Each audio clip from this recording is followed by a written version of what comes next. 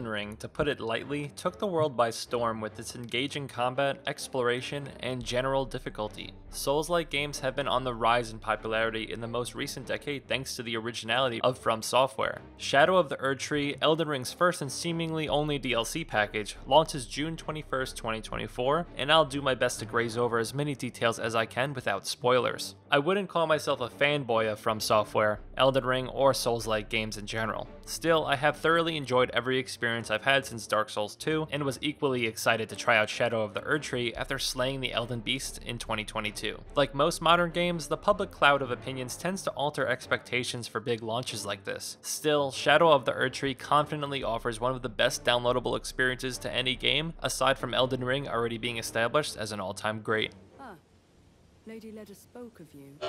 You're Ooh, that easy pixel. guided here by... I am Freyja.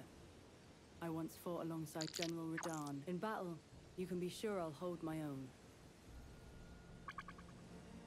Just so we're on the same page, the main storyline of Shadow of the Erdtree can most likely take an experienced Elden Ring player about 15 to 25 hours. I did my best to experience the DLC naturally by exploring every nook and cranny, only to find exciting discoveries. Luckily, the exploring and adventure aspects of going off the beaten path were nothing short of a thrill ride throughout my 40 hours of playtime. If you are wondering how legitimate this review would be, I completed and beat the main storyline and traveled every inch of the map in 40 hours, which is pretty fast. If I can guess, I explored 90 to 95% of this map before I finalize my opinions, as they change frequently throughout my playthrough due to ups and downs between frustration and joy. There is one side quest I can confirm I haven't finished because I simply can't find the character involved or I don't remember if I killed him. Nonetheless, I got my hands deep into Shadow of the Erdtree, tasking myself with anything I came across, and it was truly one of the best experiences I have had in gaming in quite some time. Oh, and I basically just play the game with the Moon Veil in one hand and a Glintstone staff in the other both maxed out. I also spam Ash of War and Glintstone Comet Shards along with timely dodges, of course on an intelligence and dexterity build. I started the DLC at about level 165 and ended at around 190. The DLC is quite challenging for any player, especially at level 165, so I would expect fans to get little value from purchasing this DLC if they can't handle the base game. This could be seen as a major flaw to some, but it's simultaneous gold for an Elden Ring fan. A new challenge to be had. Shadow of the Erdtree begins after defeating Radahn and Mohg in the base game.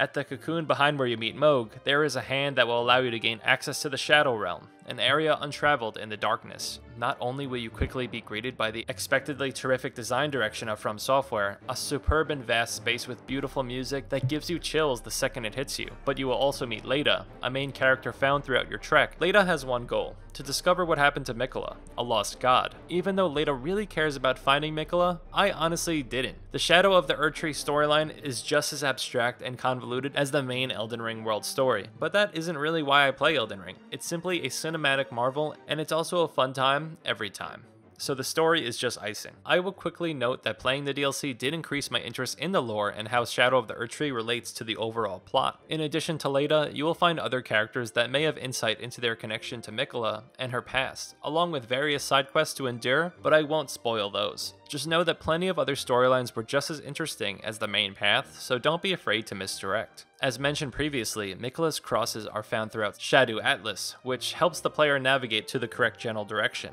In general, the narrative and backstory of Shadow of the Erdtree tends to take a back seat. Other than cool boss cutscenes and interactions, there isn't too much detail or involvement with dialogue.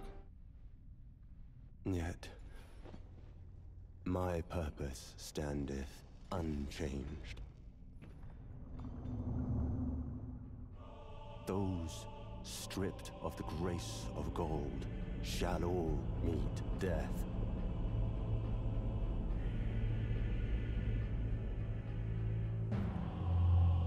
In the embrace of Messmer's flame.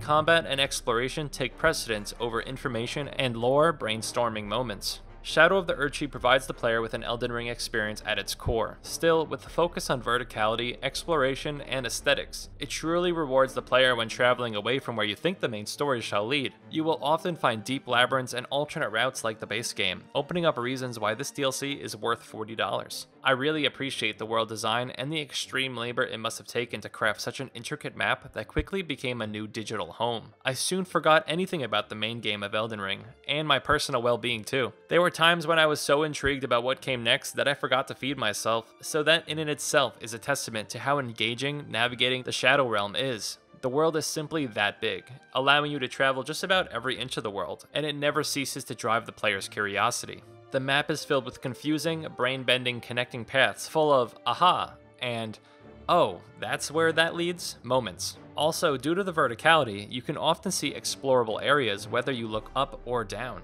If you think you can't go somewhere, you probably can, so don't give up.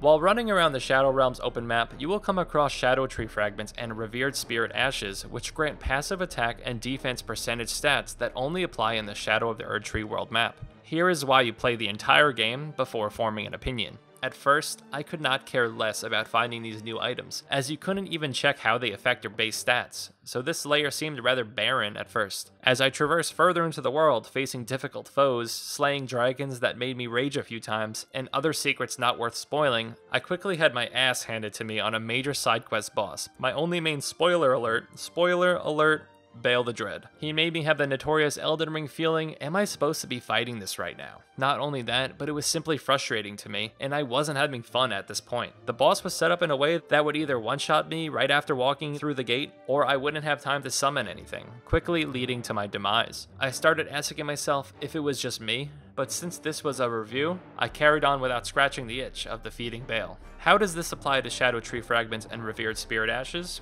Well, these items quickly changed from being something I did not care to find to instantly becoming all I wanted to find, other than the fun collectible items and weapons to flex on friends of course. The more I played Shadow of the Erdtree, the more the world made sense, and the more I wanted to explore to gain strength as I started to really feel the effects of these fragments later in my playthrough. My frustration turned into motivation, a true testament to the emotional rollercoaster of Shadow of the Erdtree, as From Software forces the player to explore side quests and hidden areas to become victorious, and it was no bother, but yet the best time. By the end of my playthrough, I had a Scadutree blessing of 17 and a Revered Spirit Ash blessing of 9. I'm sure I missed a lot too, so if you aren't close to those numbers, keep searching. You apply your findings at a site of grace.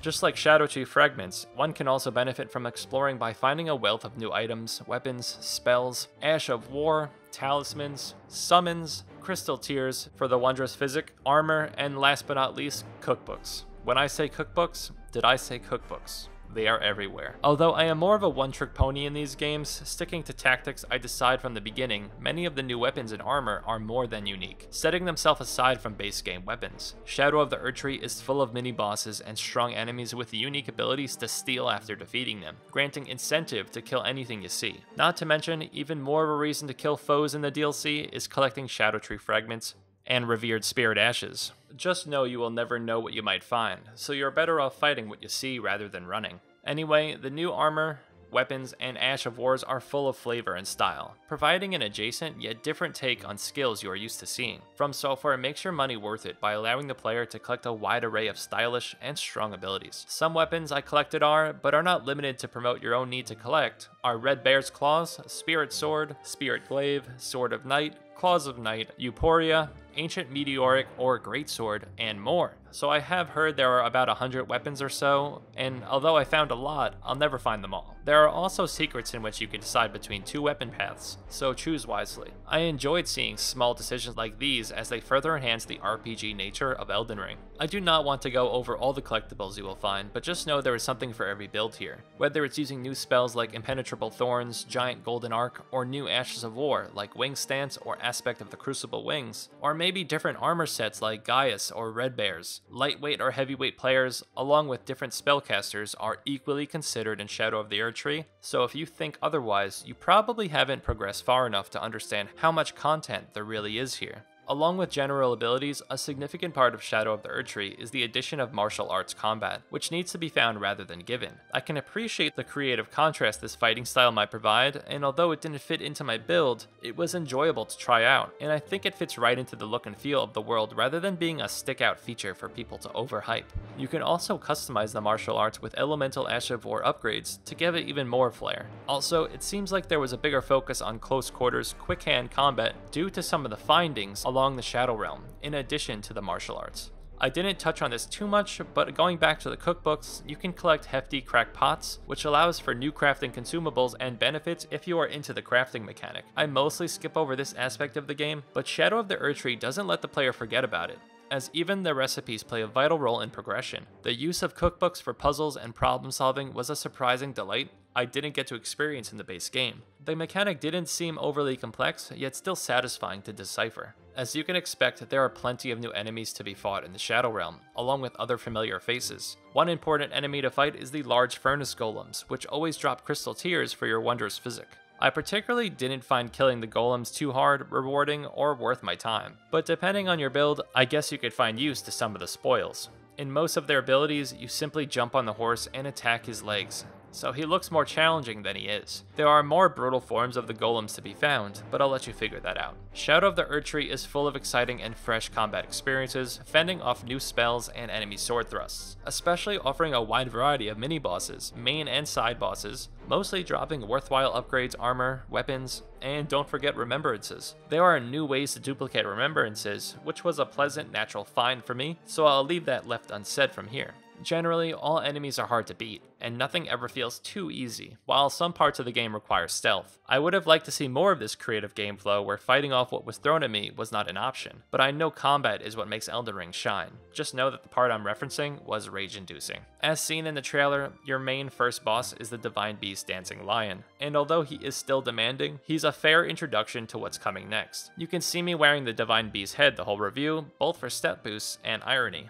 It's just fun to wear. The endgame of Shadow of the Erdtree is highly challenging, hard enough for me to spend over 3 hours studying every move and cast there is to dodge and still lose. There were also several side bosses that made me audibly rage and punch my chair, but over time I prevailed, only to continue smiling my way through every step of this world. Searching other parts of the DLC will benefit your chances of beating the final boss and maybe other bosses you can't fend off. And this quickly became the best part of the Shadow of the Erdtree experience. At first, I didn't enjoy how strenuous some of these battles were. Still, you quickly realize that discovering local talismans, Scadutree fragments, revered spirit ashes, and other vital items drastically improve your chances of defeating bosses you couldn't otherwise. I can confirm this due to my ability to go back and defeat Bayle in less than 5 tries, after sinking over 2 hours and getting destroyed by his mighty fire. From Software truly provides the player with a full experience since you almost have to search around to gain enough passive strength to beat the DLC. I was going to dock points due to how overly impossible Shadow of the Erdtree seemed at first, but playing the game more and more only asserted that my negative bias was incorrect. The indirect direction the player is forced to take here is a feat of game design. Shadow of the Erdtree is an amazing game on its own, but that's what it is. It seems a little too disconnected from the base game for my liking, although that is also to the benefit of the DLC. There was really no other connection, quest, or reason to go back to the main world during my playthrough, other than maybe a bell bearing or something like that. Obviously, the lore is connected, but I forgot all about the base game while in the Shadow Realm. Take that as you will. But for someone who doesn't yet own Elden Ring, if you are going to purchase the DLC, it will be half price if you buy the whole game together. However, make sure you intend to sink dense hours of game time before being able to play the DLC, let alone be experienced enough to fight off the challenge in the shadows. Shadow of the Erdtree is more for someone who is an Elden Ring lover already, has beaten the game, or is highly skilled at these games. I'm worried that less experienced combat gamers will not be able to buy the DLC until they are confident in their skills or enjoyment of the game, thus ostracizing the more casual Elden Ring player. The problem is that buying later will cost $40 instead of 20, so it's your call. From Software locks people into purchasing the complete package, but I think those planning on buying this already know what stress is in store. Regardless of skill, the DLC is aesthetically beautiful. You marvel at the top tier layout everywhere. From colorful floral towns to dry autumn mountain terrain, the game remains visually stronger than ever. Each location is very memorable, even more so than the base game. Elden Ring Shadow of the Erdtree has raised the ante from the previous gift of a game Elden Ring was and will continue to be. There was a reason Elden Ring was a game of the year, and if DLC can be game of the year, I would throw this into the running because it is simply that engaging. I never wanted to put the game down or go to bed when my 5am sunrise shined through the window. I just wanted to see what Shadow of the Erdtree would throw next. But I have to remember we are only human, and rest is essential. The expansion is substantially independent and conveniently adds a new experience and fresh direction to build your character on your next playthrough. Noisy Pixel is giving Elden Ring The Shadow of the Erdtree DLC a 9.5 out of 10. Thank you for watching. Noisy Pixel is a group of gamers who work hard to deliver news, reviews, previews, and more. Please subscribe to keep up with all of our future content. See you nerds.